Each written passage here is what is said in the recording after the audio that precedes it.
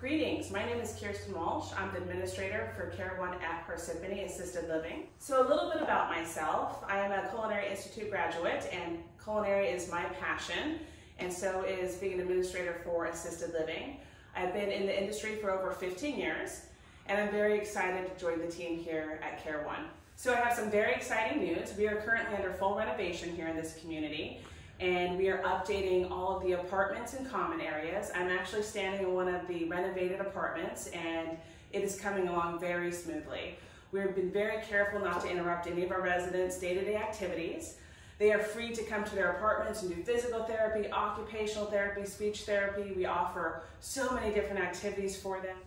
So to learn more about our community, please give us a call at 973-739-9490 or you can reach us on the internet at care-one.com.